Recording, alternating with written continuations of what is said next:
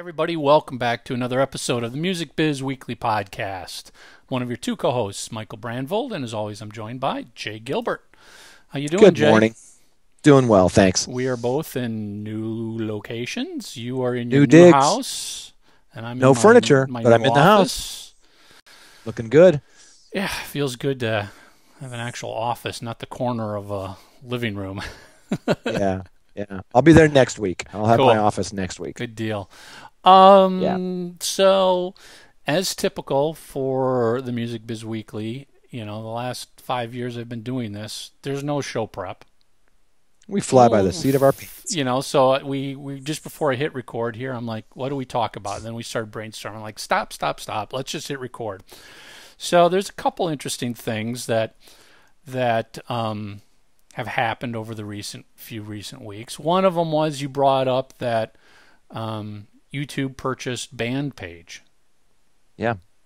Um, what's your thoughts? And we should on talk that? a little bit about like what Bandpage is. You know, that they kind of started off as that little widget or app, you know, kind of through Facebook, and then Facebook kind of put the kibosh on that, and they started off as a standalone after that, and seemed to start growing. And what's really great about Bandpage is they kind of syndicate your stuff everywhere, which is really cool. I encourage you to check out their website.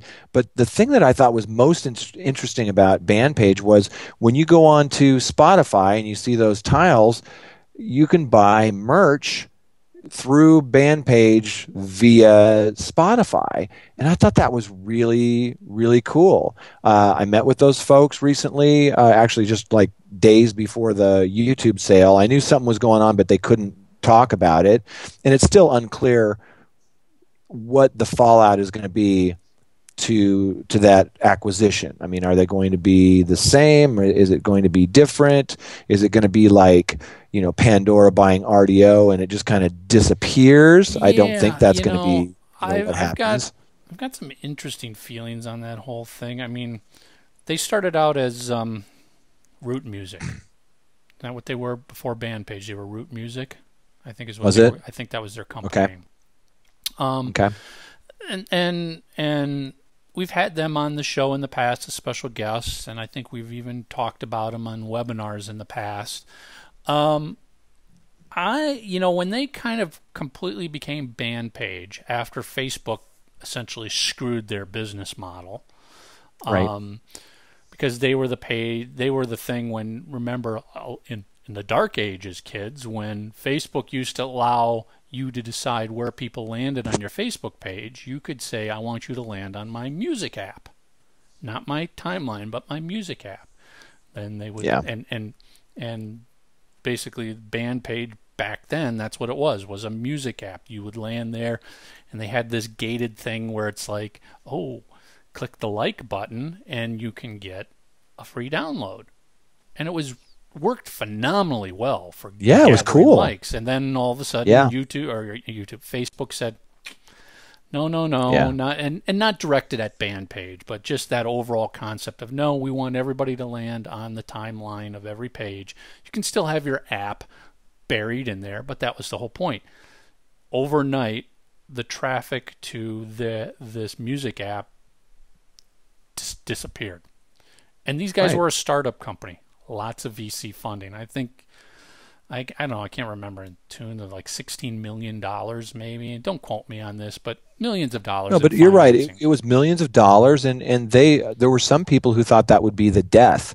of, Of the company. Bandpage. yeah and they they were very smart very savvy and they found a way to adapt Yeah, he did. They did a great job, sort of pivoting and getting out of the. All right, we're going to provide this little music thing for your Facebook page. To two things, they sort of became and and I don't think they did a great job. This is my personal opinion of really marketing either one of these. That's the to me that was the big problem. They had a great commerce thing for selling experiences you could use Bandpage to sell VIP experiences, basically. Phenomenal, a great revenue stream for bands, Right. and um, it, it it didn't really they they didn't really do much with Bandpage. And then there was the whole concept of, well, come to Bandpage, you update once in Bandpage, and we'll update your website, your Facebook, your Twitter, your blah, your blah. You know, we could. We'll, well that's where I saw the value, Michael, was what you just mentioned that syndication you know it started off with just a handful and, and i've got it in front of me I'll, I'll read some of these when you you know go in and plug photo. in your stuff. Yeah. Yeah. It, it goes to Spotify, Shazam, YouTube, Google, Deezer, Rhapsody, Groove, Kick, SoundCloud, Vevo, iHeartRadio, Live Nation, StubHub, LyricFind, and of course Facebook and Twitter.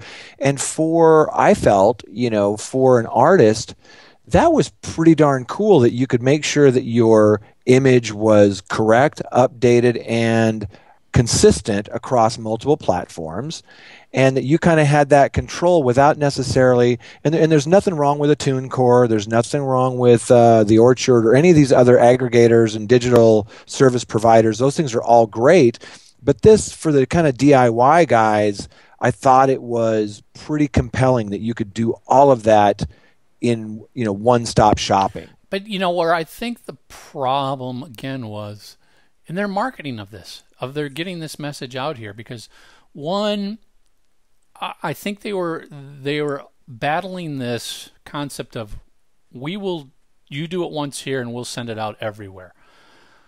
Historically that never works. And I'm not saying this is about Bandpage. It's just many apps right. that are out there. Yep. Many apps that are out there claim to do that. And it's never quite that simple as just once and they take care of it everywhere. You usually, and, and, and, I know this from experience, you usually end up having to go to the website and then tweak a copy a little bit or change this up a little bit or or after a while yeah. you learn that you get better response if you don't use one distribution source but you make a separate post to Facebook that's geared towards Facebook and a separate one towards Twitter that's geared to, towards Twitter and and all this other stuff. So that kind of got lost um, the ability for Bandpage to drive your merchandise into Spotify, awesome. But again, yeah, I'm not sure they really did a great job telling people that yeah, I think people this. stumbled upon it. I think they found it. What I love about that program is that as an artist, they don't take a cut. Um, they don't take you don't have to pay them. You can do all of this syndication basically for free. Where they make their money is on the merch side. They get 15% of merch sales. And I was just looking over some of the notes from when, when I met with them, and a couple of things that I thought were really cool. One is that Bandpage powers uh, Shazam profile images, which I, I, thought was pretty cool. They have a um, a Rhapsody partnership where it it's like tour support. It's ECRM emails uh, in in tour markets, which I thought was pretty cool. Um, so, but this all comes back to a point that you just made. There's a lot of great features here, but until I sat down and had coffee with them, I wasn't really aware who they, of. Who were they telling I'm, them? I'm like you. I I go on and kind of uh, read as much about this stuff as I can, and if a guy like you or me doesn't really understand what their offering is, then maybe there's a misstep on the marketing and branding and messaging yeah, part. And I and I think that's that's what it was. It's like, okay, I know of Bandpage, but didn't really have a full deep understanding of everything that it offered, and nobody was out there really pushing it, promoting it, evangelizing it, so to speak. Yes. Um, and it just kind yeah. of got lost. Now, the other thing that I found interesting about the YouTube thing is about a couple days after the sale was announced, I, if we had show prep, I would have found this article, but there was an article that talked about the sale, and the speculation really was the sale was more of they had to sell because this is the only way they were going to get any return on the VC investment into this or even company. survive or even right? survive. That's I think I read the same thing that there was some financial things and again if we would have prepped I'd have that in front of us that, but that, that the ultimate you, purchase was not a right. wasn't wasn't the purchase price was never revealed but the speculation was it wasn't a big purchase It was basically no, I had a way for speculation of like 8 million, 10 million and that was basically to cover that uh, that VC investment. Get, getting some money back to the VCs whether it was all or partial, I don't know. Um, and and you know, I I live in the San Francisco area, so startups are all over the news here. You start recognizing that stuff, and not just in the music yeah. industry, but you just start recognizing that in in startup companies and sales, and you start going, "Oh, I recognize what's going on there." That really wasn't somebody going, "I really want this product bad." It was more of, "We need to sell to anybody who will give us some money." Now, what will YouTube do with this? I got to tell you, uh, my first take is nothing. It's going to just die on the vine. I hope not. I hope it doesn't. Right now, like I said, we use the the comparison of Pandora and Rdio, where it's kind of been uh, absorbed, and we're waiting to kind of see how it's integrated, if it's integrated. With this, it's still live. It's still active. It's still something that's being used. I know one of my clients is getting in deep uh, with Bandpage, which is a, a, beautiful thing. I was looking over their their site, and I mean, let me just ask you though, wouldn't you have a little concern about getting in deep with Bandpage right now after you know they've just been sold and you don't know what their future holds? Maybe. I think as long as, like, right now, they're continuing to do what they do, and they're doing it pretty well, whether it's the merch through Spotify, whether it's kind of the aggregating, you know, to key places like Shazam. A small company like one of my clients, they don't have the resources to manage all of these different outlets on their own. So they really rely on aggregators like Bandpage, and they've looked at other alternatives like Bandpage, and some are strong with the DSPs, some are strong with some of the smaller uh, services. Nobody seems to kind of cover the same area that Bandpage does. And I was looking at their website. It's not just new developing artists like maybe it was in the beginning. You know, they've got, I'm looking at this list here. I won't read the whole thing, but there's a few in here like Springsteen, Carrie Underwood, you know, Common, uh, McCartney, you know, Snoop Dogg, Usher, Pink. There's, they've got some substantial, you know, players in the space, new developing as well as heritage artists. So I, my gut tells me that YouTube's going to, you know, and of course that's owned by Google. That's a large company. They don't necessarily need this to be profitable immediately. It is a good aggregator. It is a good service. I'm looking to see how they're going to maybe integrate that into um, their music offering because the way and, and you and I've mentioned this a couple of times. You look at Google and they've got Google Play Music, they've got YouTube Red, you know, and I think from what I've been reading, their download business, say with uh, you know uh, Google Play, is kind of flat, which sounds bad, but these days with people moving to streaming, downloading is crashing hard.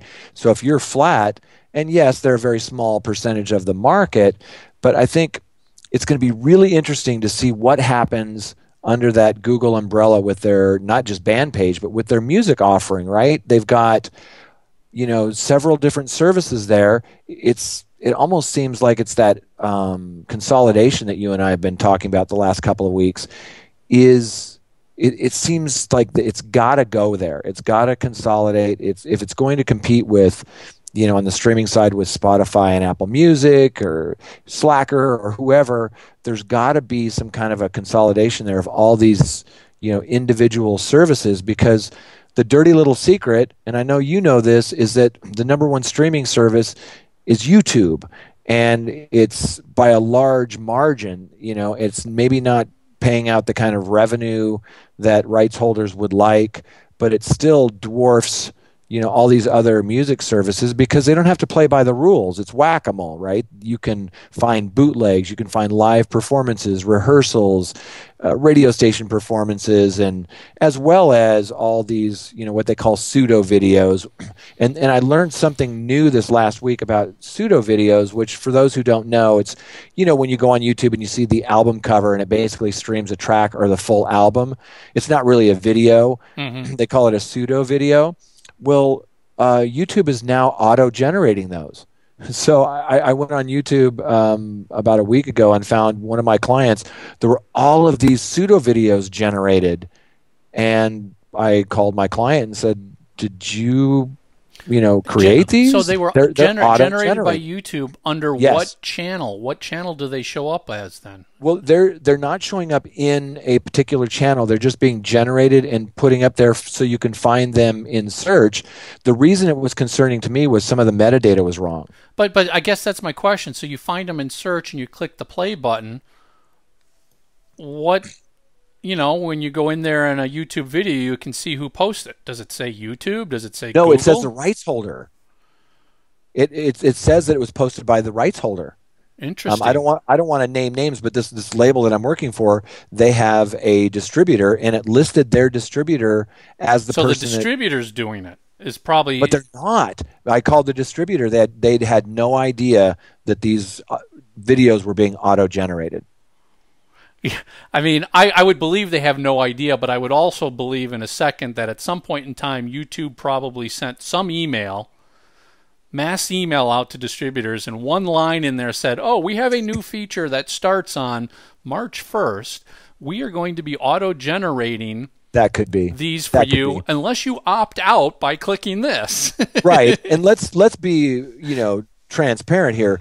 You're making money you know, they're right. they're generating revenue, ad revenue on those pseudo videos. So I don't think a lot of people are going to complain because when you we when you go to YouTube and you say, "How can we work better with you?" they say, "We want more content. So when you release a song, give us a pseudo video, give us a lyric video, give us a live video, give us the regular video. You know what I mean? Uh, user generated content. They want as much content for obvious reasons as possible, and then that'll generate more views, more advertising, and you participate in that. Right. Uh, you know, getting back to Bandpage and YouTube, sure. I mean, the one thing that concerns me about this is, you know, first of all, I think what Bandpage has is cool, great features, and the people at Bandpage were passionate about bands and music. I've met with them, you've met with them. Google slash YouTube is a completely different story. Yeah. And I've had meetings with them, and I've seen how they they they are not fast movers. They are not fast to adopt things. Um, quite often they go backwards. And, and that, music isn't their core business. And, that's not their core business. So that's what worries me about the Bandpage acquisition is if yeah. they were acquired by another sort of equally independent music startup company, then there's some. All right, I, I can get what they're trying to do, but they were acquired by the 12,000 pound gorilla who, frankly, just sees music as a line item in a budget. And what they go- what are they going to do with Bandpage? It well, let's put it this way it wouldn't phase Google or YouTube in a second to blink their eye and say, you know what? Turn it off. We have no we concern. Could. We have no concern what that means to all the bands that are using it. It doesn't bother them one bit. Right. That's what I'm saying. Right. But there's not a lot of risk, right? I mean, this is a, they got it for a steal price probably. It sounds like they got it But they you know, they're going to have to sale. invest. They will have to invest time, money, manpower to integrate it. I mean, yeah. to keep it just as its own, sure, that's still up and running, but you don't acquire somebody and just say, all right, well, now let's just let it sit out there and continue to be its own business. You're doing this because you're hoping to integrate it into something. Are you going to integrate right. it into YouTube? Are you going to integrate it into Google Play? Are you going to integrate it into Google Hangouts? Are you going to take right. a core feature of Bandpage and suck that in and get rid of the rest?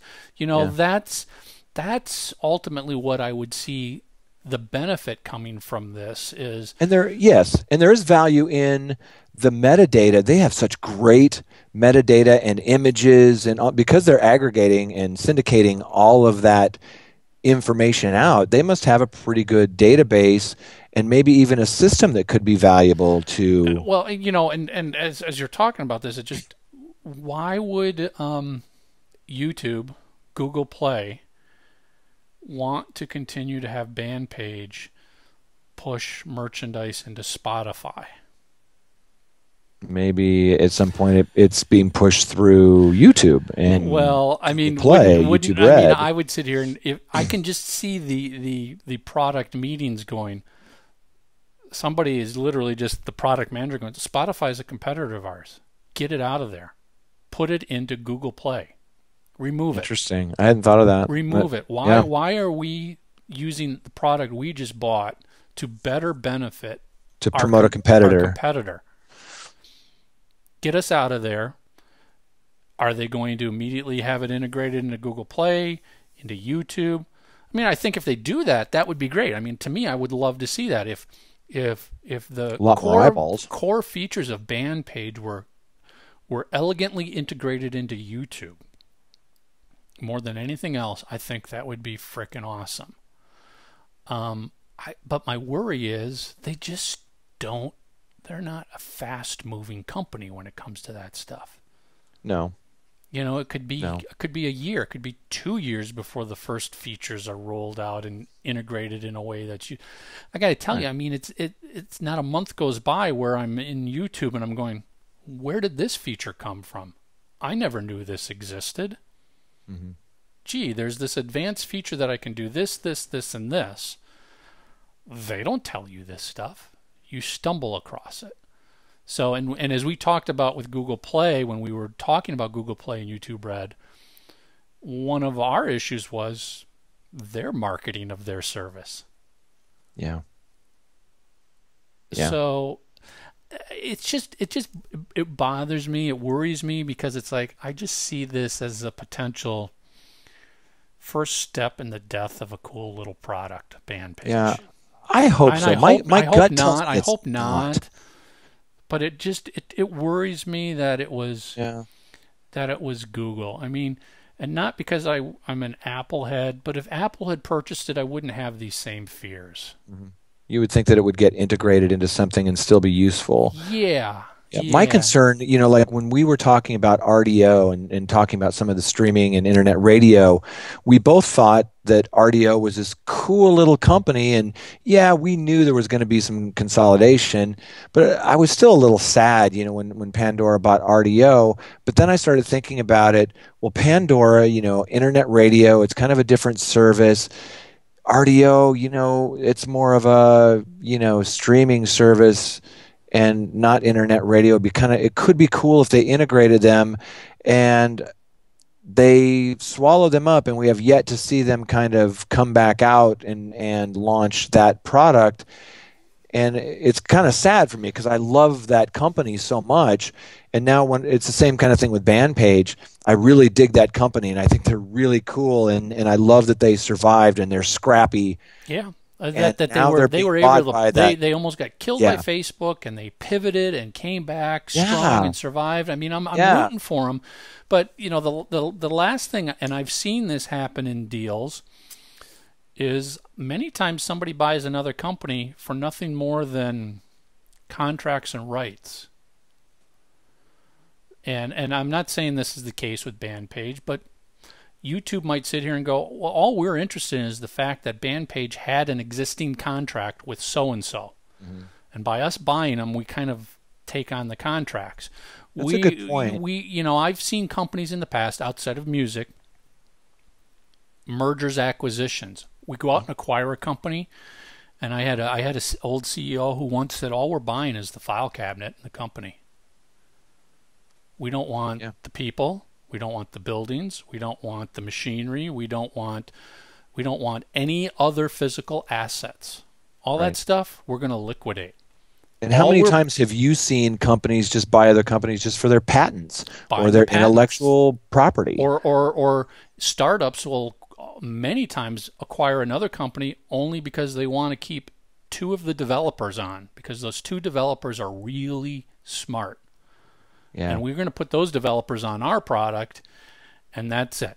We close everything else down. We we we, basically purchase the contracts for this. So again, I'm not saying that I have any insight that that's happening with Bandpage, but those types of deals do happen out there, Mm-hmm. um, and those are the things that that large companies look at. You're not always looking at it going, I love the product. I want to integrate the product. I want to do better for the community.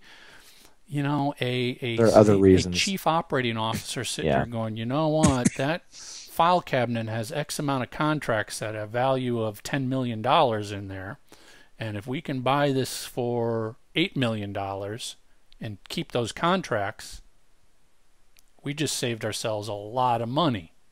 Yeah. The rest of the Yeah. product we don't care about. So I I I, I want to see what YouTube's going to do with this. I do And the- too. And the, and the fact that it's been very quiet is also a little worrisome. Yeah, at least they didn't shutter it, and that that encourages me that they didn't buy it and then shut it Shut down right away. They're right now. It's kind of business as usual, and this, it's been you know a, a couple of months so far. So, like I say, I, I think that's encouraging. Um, it'll be really interesting to see how it's integrated, if it's integrated, because there's always that possibility that they could keep it as a standalone business. I mean, Google as a company has tons of different businesses, right? Um, that, that run the gamut from self-driving cars to you know everything. I mean, they do a lot of different things. I think we're assuming since it's a music-centric company, Bandpage, that it would be a natural fit with the music areas of Google, Google Play, YouTube Red, whatever. But it could be left alone. It could be a standalone and, and could grow. And maybe they, there's somebody, whether there's patents, whether there's intellectual property there, whether it's the metadata and the images, there there could be some other self-serving uh, things there that could help Google. Um, but yeah, I, I hope they I hope they keep it intact or make it better and stronger. It was a lean you know machine. There wasn't a ton of employees there. It you know wasn't one of those situations where they had to come in and lay off 100 people. So um, i think there's a lot of value in bandpage. I think it was a smart acquisition for them if they use it. If And- they use it, that's that's yeah. the big thing. And you know, that's a big question mark. I, I I would end this with any artist who's using Bandpage or just anything else like that. You know, you really do have to pay attention to the business yeah because absolutely you don't you may not realize it, but the vast majority of these music companies are startups.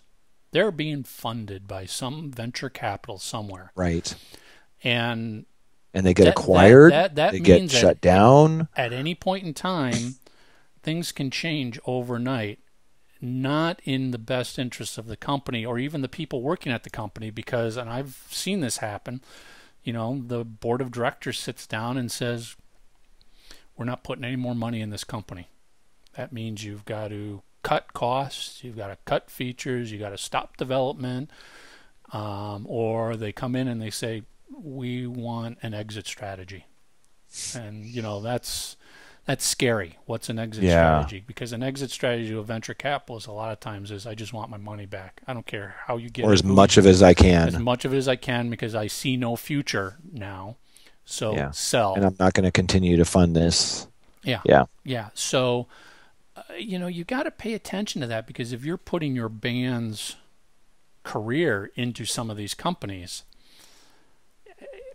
not that you would wake up overnight and it could be gone, but you could wake up overnight and get a notice that says we've been sold and you have 60 days to do something. Move Yeah. to another platform or whatever. Um, just you know that's one of the things I always am aware of when when I'm looking at services is how long have they been around you know do a couple Google searches and see if there's rumors about them yeah what the Um, risk is what the risk is Um, and then once you're working with them, just pay attention to them in the news. You know, set up a Google News alert. To, I was just going to say, watch, yeah, set up a Google alert. On because Yeah. you know you're not only interested in a new feature, but you might be interested in the fact that the board of directors just fired the CEO. Really? What does that Yeah. mean? Well, you just touched on something I think is a key point. And for those who have never used a, a Google alert, you know, I use dozens of these things and they help so much. It's so simple to set up in Google. Uh, a Google alert is basically you, you just tell it, you just Keyword. Google it. Yeah. And you say, I'm interested in this company or this person or this, this keyword. And you can set it up for daily. I have it weekly. And they'll send you an email and say, well, here are all the stories in the news about that topic or that company that you want to know about. And at a glance, once a week, you can kind of get a sense of what's going on with those companies that you're that you're using, like a Bandpage, and you would be hip to the YouTube sale or whatever it is by just setting up a simple Google alert. To Yep. to a lot of people, that's very rudimentary, but to some people, you know, maybe they haven't used it. It's a great tool. Yeah, yeah, I totally recommend it. You know, on that, I mean, we we just riffed for 30 minutes. I don't think we even need to go into. that's what we do. I, I had a second potential topic we could discuss. I think we just leave it at this. Um, it was a really good discussion. I, Yeah. You know, I you know I would love to hear what y- our listeners, what your thoughts are on Bandpage and YouTube's acquisition. And are you worried? Are you not worried? Uh, what would you like to see YouTube do with it? Um, you know, it's it's something we got to pay attention to. Absolutely. Yeah. Good All right. discussion. Good discussion. Until next week, everyone. Thank you. See you guys.